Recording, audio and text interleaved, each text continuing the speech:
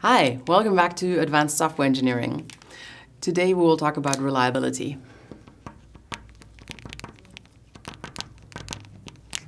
So, a quality engineer walks into a bar and orders a beer. He orders two beers. He orders 999,999 beers. A second quality engineer walks in. She orders minus one beer. She orders a lizard. She orders a taxi. First customer walks into the bar and asks where the bathroom is, and the bar explodes. Hmm. What does that tell us about reliability? It means quality engineers, reliability engineers are the ones who should be able to look into the future and, you know, come up with all the things that could possibly ever go wrong in the system. And why is that? Well, we want to be able to trust our system. Reliability of a software system means that every time I make some kind of input, we get an expected return on that input. And when I give it the same input twice, then I would expect the same answer.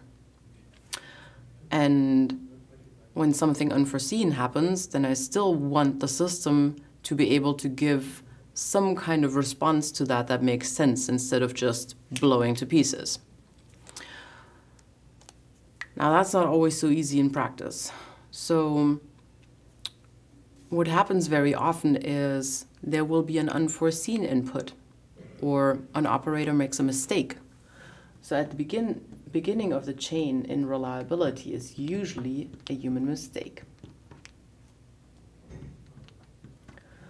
Maybe a software developer didn't think through when they were programming the system. Let's take a simple example of a monitoring system. You have security cameras installed somewhere and they have to run 24 hours. So you have surveillance all day and all night.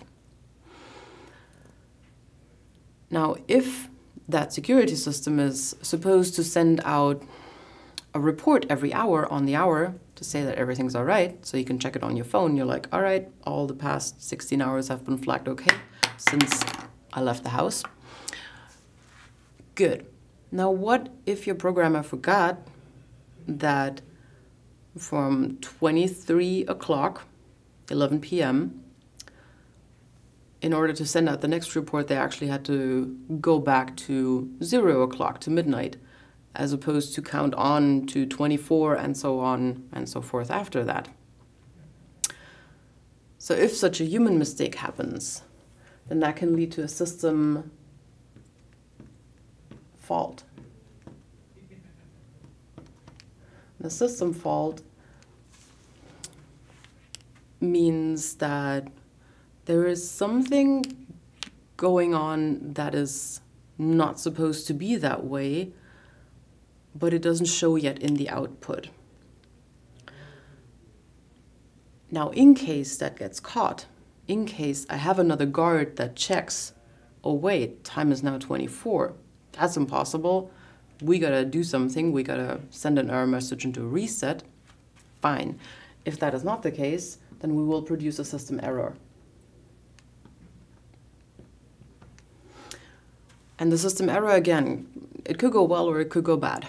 If it goes well, then we we get an error message saying something is wrong with the timing, uh, don't know what to do, need to run a maintenance procedure or need to call an operator to fix this or whatever else.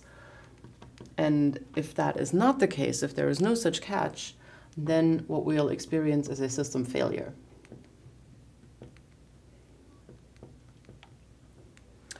And system failure in that case would mean system crashes and doesn't send out anything anymore.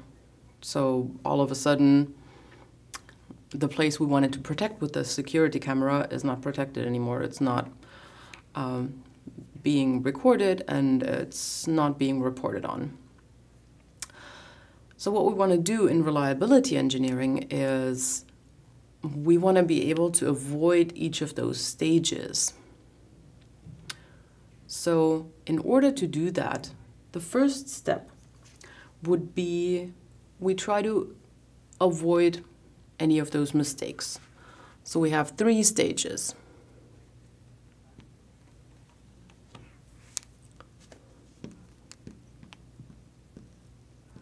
of reliability engineering.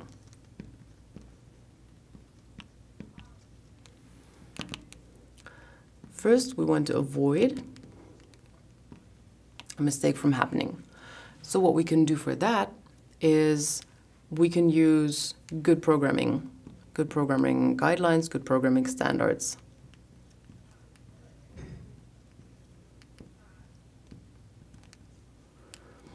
And that will be things like checking your input values, checking where whether they are in a specific range or whether they adhere to a certain format.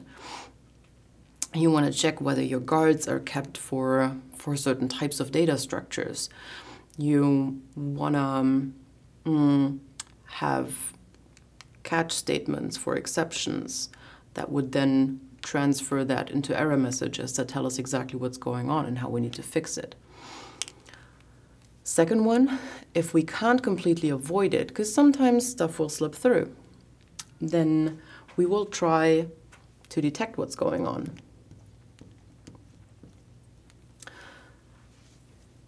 So if we weren't able to make sense of all of those by good programming guidelines, the system fault that gets produced will result in some kind of error message being thrown back to the system at some point. And then what we can try to do is detect that specific mistake and run a maintenance procedure. If mm, our larger than 22, um, go to that procedure instead and run this part.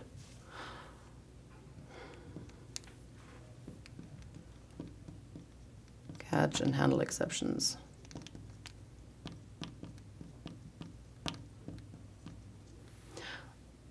And if that doesn't fix everything either, then the third stage that we can do is tolerate if something happens.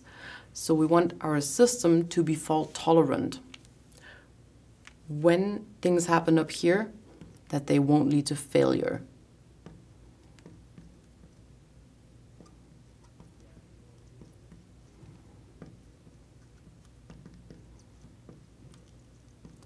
So it can recover.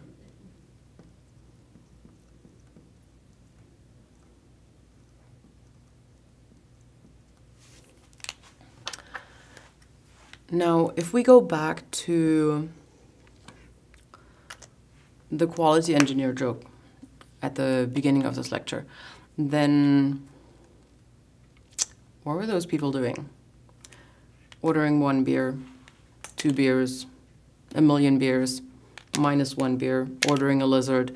They were trying out all different kinds of inputs in that bar. They um, even tried to order a taxi. Now, we don't know from that joke whether they tried to order a taxi as in here have a drink instead of a taxi or if that was a service request but one that the bartender would expect to come in when a guest had too many beers that they would order a taxi to take them home instead. So we have all the different kinds of inputs. They obviously doesn't anticipate a customer walking into the bar and asking where the restroom is because that made the bar explode. But doing all those different types of tests up to the point where we can detect failure, that is statistical testing, and that is used a lot in reliability engineering.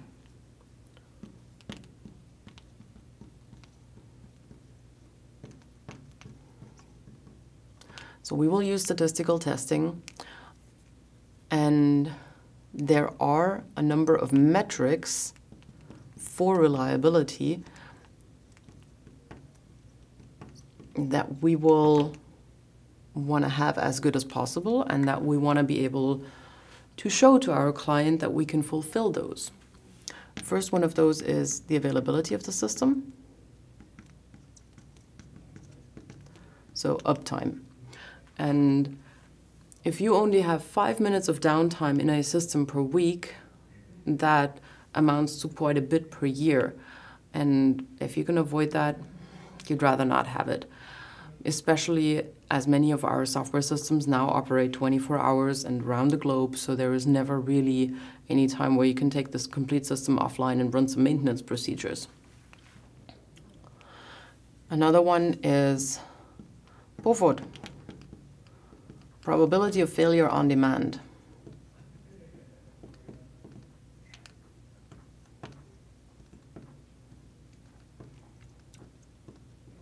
which would be when I ask where the bathroom is in a bar, the bar explodes. That's clearly a case of failure on demand. and then there's a third one. It's called ROCOF. And and I always stumble across that one. For the life of me, I can never remember what ROCOF stands for. Let me look this up.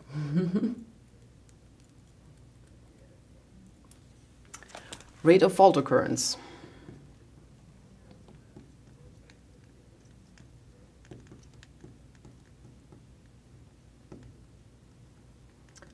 So how often do faults occur in this particular system? Now, when you think back to requirements engineering, then you know that defining a metric and then a certain level that a system has to adhere to for that specific metric um, is one way of defining quality requirements. So we can use those metrics for defining quality requirements.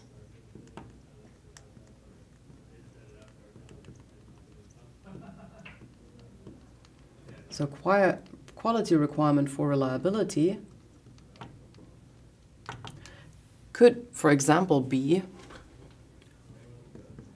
availability of the system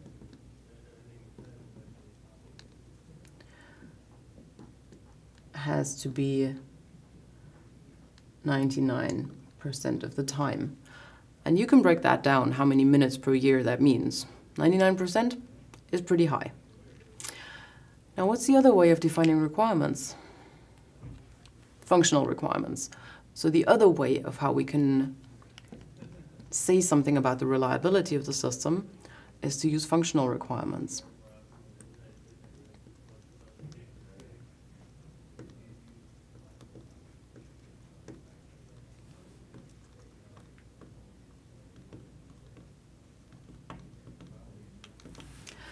And that can be something along the line of for every um, feature that the system has implemented, there needs to be an exception handler.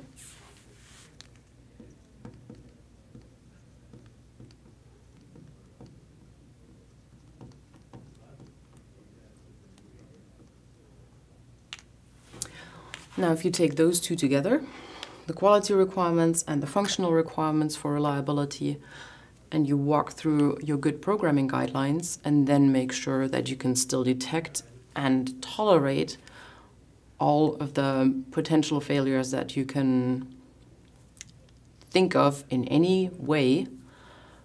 And there are a lot of reference lists that you can use for things that could potentially go wrong in your system. Then you're pretty well set up for reliability. If you want to take it beyond reliability and also conceive of any attacks that might be brought onto your system, that's where we get into security engineering, and that's one of the upcoming lectures.